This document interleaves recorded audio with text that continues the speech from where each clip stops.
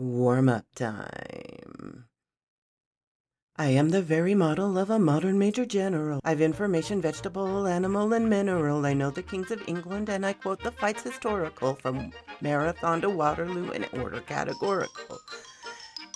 I'm very well acquainted too with matters mathematical.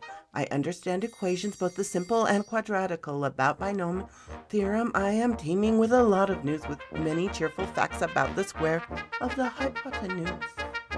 I'm very good at integral and differential calculus. I know the scientific names of beings, and animalculous. In short, in vat. In short, in matters vegetable, animal, and mineral, I am the very model of a modern major general.